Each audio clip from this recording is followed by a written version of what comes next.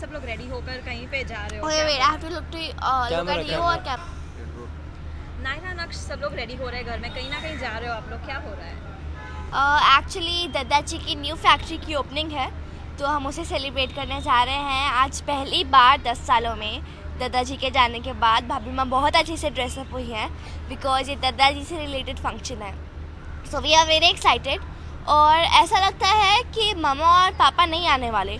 So we are just planning हमने पूजा का सामान उनकी कार में रख दिया है so that they can come सो ये पूरा सीन था।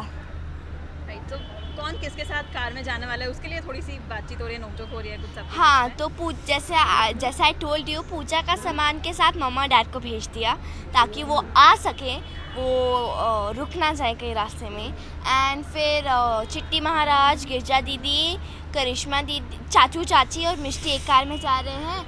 मैं भाई दादाजी दादी और बड़ी दादी एक कार में आ रहे हैं। नक्श और पापा के बीच में कुछ नोक झोंक होते हो क्या रहते हैं ना कौन सी नोकझोंक नोकझोंक रहती है ना नक्श आपके तब वो तो पाँच तीन महीने पहले थी। अब नहीं है